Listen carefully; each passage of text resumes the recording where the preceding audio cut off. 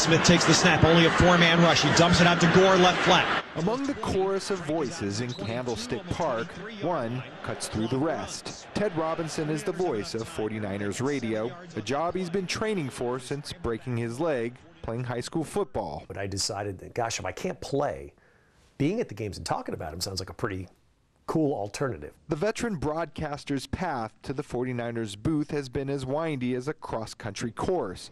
He's done Wimbledon with John McEnroe, Olympic diving, and college football.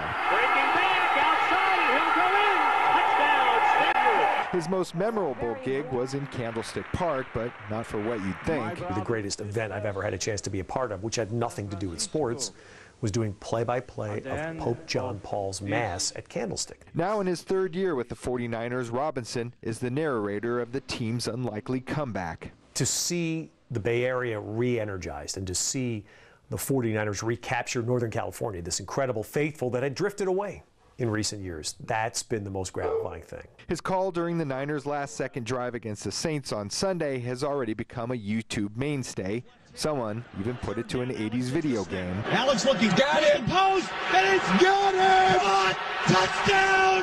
Touchdown 49!